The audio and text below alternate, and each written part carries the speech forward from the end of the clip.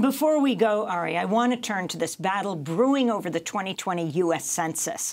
On Monday, a federal trial began in New York City over challenges to the Trump administration's decision to put a citizenship question in the census. Voting rights activists fear the question will deter immigrants from participating in the census, leading to a vast undercount in states with large immigrant communities, which could impact everything from redrawing of congressional maps to the allocation of federal funding. The American Civil Liberties Union, along with 17 states is challenging the addition of the citizenship question. On Monday, the plaintiffs called their first expert witness, Duke University political scientist Sunshine Hillygus, who testified that the citizenship question will depress participation among non-citizens and Hispanics. The citizenship question was announced in March by Commerce Secretary Wilbur Ross, who touted it as a way to enforce the Voting Rights Act and protect minorities against voter discrimination. White House spokesperson Sarah Sanders said then that it was necessary for the Department of Justice to protect voters. The purpose is to determine uh, individuals that are here. It also helps uh, to comply with the Voting Rights Act. However, on Sunday evening, the plaintiffs released a deposition that seems to contradict the Trump administration's stated purpose for adding the citizenship question to the census.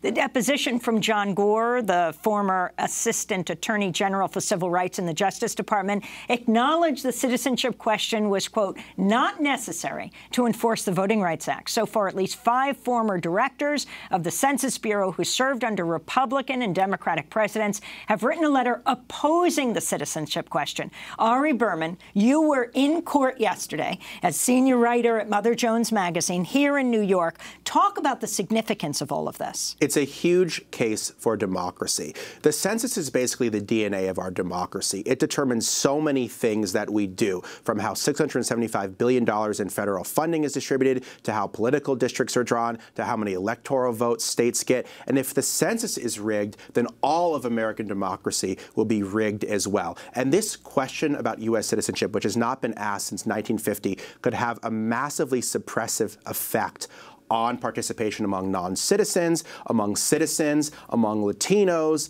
uh, Native Americans, Asian Americans, other minority groups.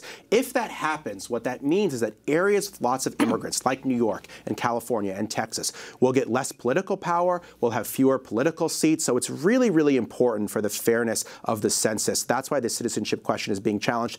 And the Trump administration's rationale, this was done to enforce the Voting Rights Act, is such a farce, Amy.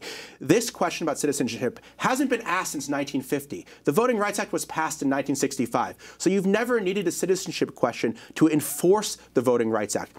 The Trump administration hasn't filed a single lawsuit to enforce the Voting Rights Act. So it's completely laughable they need this to enforce the Voting Rights Act. And then we got smoking gun evidence on Sunday night where the head of the Justice Department Civil Rights Division said This is under Trump. Under Trump. John Gore. Said it's not necessary to enforce the Voting Rights Act. And he was told by Jeff Sessions, one of the most anti-immigrant people in the administration, not to meet with the Census Bureau to discuss this. So the fix was in from the very beginning. This was done by Kris Kobach, Steve Bannon, Jeff Sessions, the most anti-immigrant figures in the Republican Party, wanted this citizenship question on the census. Kobach, who's running in Kansas. Kobach, who's running for governor in Kansas, who is cha was chair of the quote-unquote Election Integrity Commission, wrote anti-immigrant laws all across the country. Steve Bannon told Wilbur Ross, the Commerce Secretary who oversees the census, talk to Kris Kobach about adding the citizenship question. So it started with Steve Bannon, a white nationalist, and Kris Kobach, the architect of anti-immigration and voter suppression laws.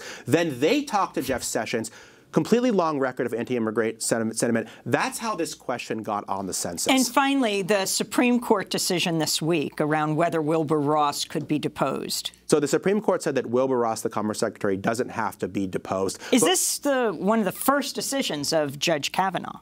Yes, but it was just a procedural decision, so we can't read too much into it. But they did say that John Gore had to testify. His deposition was very revealing. A lot of documents have been released undercutting what the Trump administration said. This had nothing to do with enforcing the Voting Rights Act, Amy. This is all about suppressing participation from immigrants so that areas with lots of immigrants have less representation and less political power. And the census will shift political power for the GOP instead of being a fair and accurate document of all Americans. Ari Berman, I want to thank you so much for being with us. senior writer Mother Jones, reporting fellow at Nation Institute, author of Give Us the Ballot, The Modern Struggle for Voting Rights in America. We'll link to your latest piece. Trial over census citizenship question kicks off amidst revelation of Trump administration deception. Ari, I'll see you in, well, not so long from now when we do that six-hour special. This is Democracy Now! Coming up on this show, we're going to be looking at um, uh, a record-setting uh, ballot initiative in Colorado. We'll be talking about oil and gas and fracking. We'll be talking with Aimee Allison in Georgia,